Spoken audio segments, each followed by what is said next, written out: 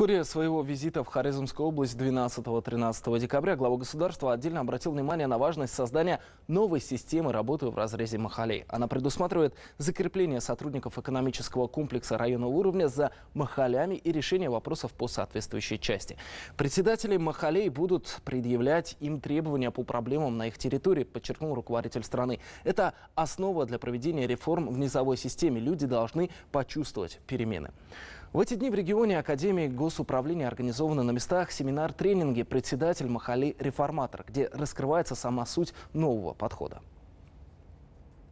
Движущая сила, драйвер реформ, отправная точка инициатив. Именно так руководитель страны охарактеризовал Институт Махали, определив векторы дальнейших изменений, которые пилотно предстоит воплотить в жизнь здесь, в Хорезмской области. Суть в том, что изменения должны начинаться на местах, чтобы чувствовали простые люди. И в этом контексте у председателей сходов граждан особая роль и ответственность перед народом. Работая по новой системе, они должны уметь предъявлять требования госорганам по каждой из проблем на веренной им территории. Сама Суть такого подхода была в центре внимания встреч, прошедших в Ургенче, Хиве, а также в Шаватском и Богатском районах области. Семинары, тренинги для председателей органов самоуправления организованы Академией государственного управления при президенте Республики Узбекистан. В центре внимания укрепление лидерских качеств, формирование системности в решении проблем. Участники, а их было больше полусотни, отметили конструктивность такого подхода и знания будут применены на практике.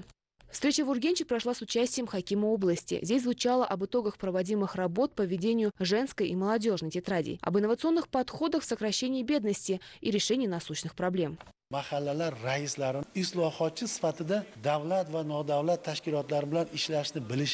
mahallalar Председатели махалинских сходов граждан, как реформаторы, должны уметь работать с представителями государственных и негосударственных организаций. К тому же они должны быть в курсе возможностей, которые создаются со стороны государства для населения. Постановления и законы доносить до простых граждан, разъясняя им основы проводимых изменений. Тренинги были организованы между участниками, поделенными на отдельные группы. Bu treninglarda mahalla raislari aholi bilan muloqot qilishning bir zamonaviy texnologiyalarini o'rganadi.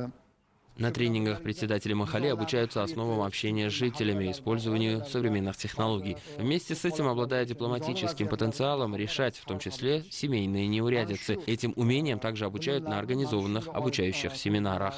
Семинары и тренинги продолжаются, внедряя новую систему поиска оптимальных решений проблем на местах в интересах людей.